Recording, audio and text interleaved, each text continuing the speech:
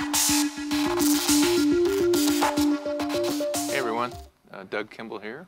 I am mixing front of house for Tears for Fears this summer, 2016, and I opted to take out the new Yamaha PM10, and uh, it's just an amazing sounding console. It's unbelievable.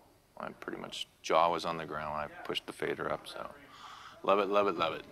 Um, love the Rupert Neve stuff that's in there. Sounds great. The capacity of the console, the inputs, outputs, um, just designing the faders where you want them, however you want them.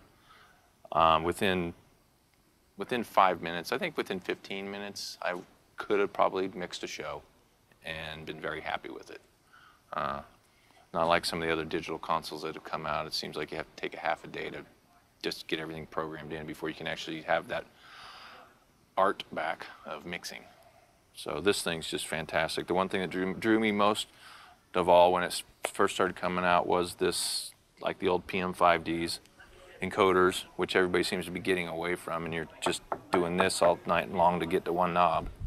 So uh, I love the fact that the gain knob's always where the gain knob is, the EQ is always where it's supposed to be. I love having all these knobs for sends.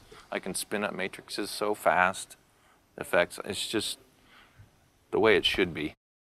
Coming over here on these guys, which is really cool, it's the touch and turn. So if I want to do something real fast without having to think, I just touch that and it becomes this knob right here on anything. Anything you touch becomes that knob. So it's like, oh shoot, dang, there you go, fixed it's just nice to be able to touch things and not do that or work a mouse. I, in fact, I haven't even used the mouse on tour. it's been all right here, and it's just I'm just I am just loving it. So this is a fantastic console. It sounds amazing, and trust me, you guys need to get on this thing. Give it a listen. Okay. Hey, so one of the things was, uh, which I like. This is great. This thing's so great. So you got your USB record. You can record your left, right every night on the show, which I'm doing for these guys and um, so they can review stuff or whatever they want to do.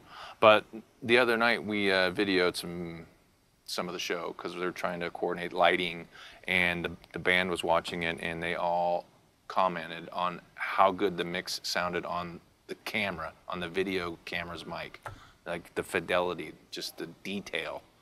For for the musicians to come and tell me that that was that was pretty amazing. They were just they couldn't couldn't stop talking about it.